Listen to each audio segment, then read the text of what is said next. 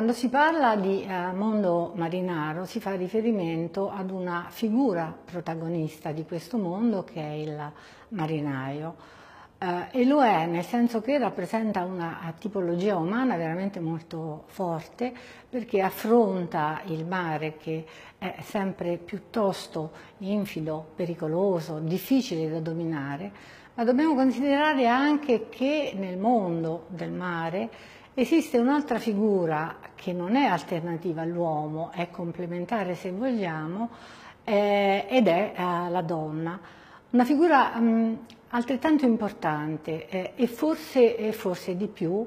tanto è vero che eh, qui da noi a San Benedetto del Tronto e nei dintorni eh, si parla di matriarcato riferendosi al mondo femminile. È un matriarcato che forse storicamente è esistito, perché la donna è stata al governo della realtà familiare, ma è un uh, matriarcato che va anche uh, in un certo senso interpretato, perché ecco, la donna era una supplente in realtà, doveva supplire l'uomo che era assente mh, per lunghissimi mesi anche, uh, a causa del lavoro del mare. Quindi la donna doveva farsi carico uh, della gestione della famiglia, ma non soltanto di questo, uh, doveva farsi carico anche di dare dei contributi economici, perché il mondo del mare, il mondo della marineria, era un mondo assolutamente povero, dove la miseria costringeva alla fame le famiglie uh, più bisognose. Ecco, mh, la donna uh, si muove in questo mondo con un dinamismo veramente uh, sorprendente. Noi uh, certe volte pensiamo che la miseria e la fame possano ridurre praticamente la capacità operativa di una persona e invece io direi che è esattamente il contrario. la miseria voglio dire, alimenta l'ingegno oh, della, della, donna in questo caso, eh, così che la donna riesce effettivamente ad essere non solo operativa, a dare un contributo notevole alla uh, gestione del mondo familiare. I mestieri della donna sono tanti, um, perché ovviamente uh, noi in genere quando parliamo di mondo femminile uh, facciamo riferimento alla retara, perché uh, costruire delle reti, realizzare delle reti, è un lavoro che uh, è sussidiario rispetto al mestiere del mare affrontato dall'uomo. Le reti servono per pescare e l'uomo con la sua barca va in mare portandosi dietro oh, queste reti. Quindi retare innanzitutto, retare perché eh, fra l'altro è un lavoro eh, che si può fare eh, a casa oppure nelle piccole ruette del paese antico dove si viveva una socialità eh, molto aperta. Le case erano piccole, erano brutte, erano povere anch'esse e allora eh, la rua, la, la strada, il mondo esterno era diciamo un universo aperto, più salutare e anche se vogliamo un pochino più allegro. In quel mondo le donne vivevano insieme ai bambini, perché i bambini poi, eh, come, come, possiamo immaginare, eh, nascevano in gran quantità in un mondo in cui eh, l'uomo era assente ma quando tornava aveva bisogno del calore, degli affetti eh, familiari. I bambini nascevano, eh, dicevo, um, in gran quantità e uh, i maschi avevano anche uh, una mh, capacità uh,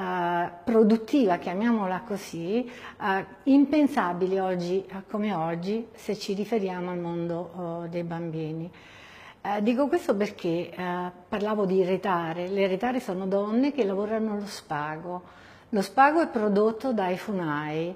i funai lavorano all'aperto lungo i sentieri che sono lunghissimi e consentono di attorcigliare la canapa per farne appunto uno spago. Bene, la manovalanza più bassa a, come impegno aspettava il bambino piccolissimo. Il bambino doveva girare la ruota agli ordini del funaio che non gli risparmiava niente in realtà perché quel mondo imponeva delle regole abbastanza dure e eh, i bambini erano sottoposti a quelle regole per cui se non obbedivano prendevano scapaccioni e, uh, e altro.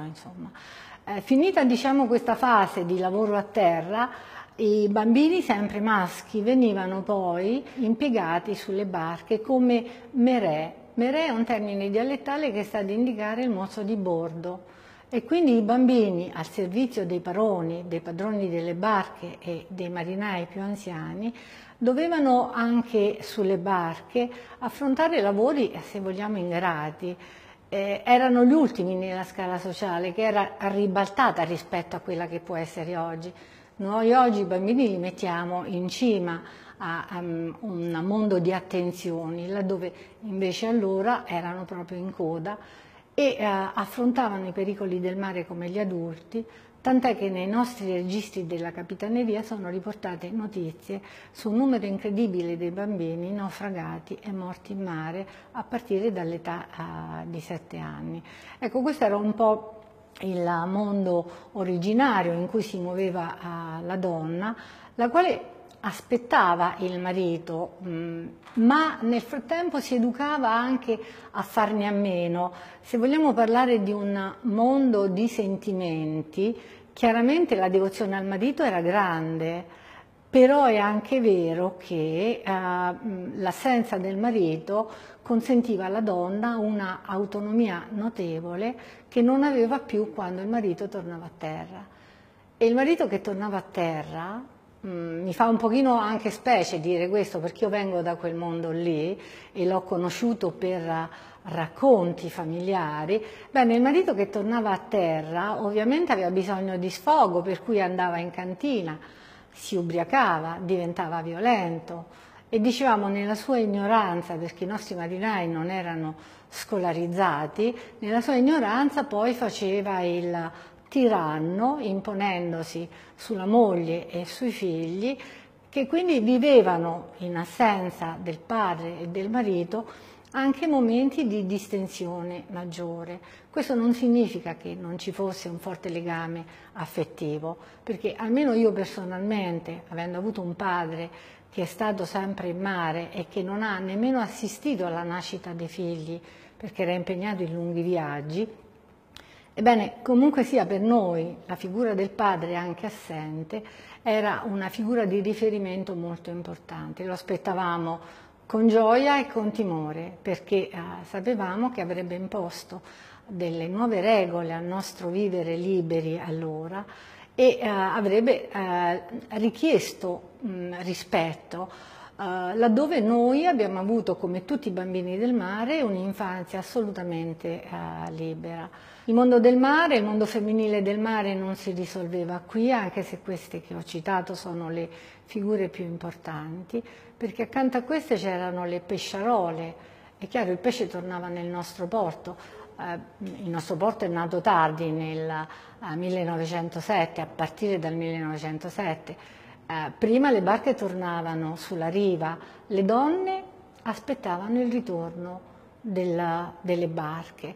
E noi abbiamo questo mondo diciamo così primitivo ha ispirato molto sia la letteratura che eh, l'arte pittorica.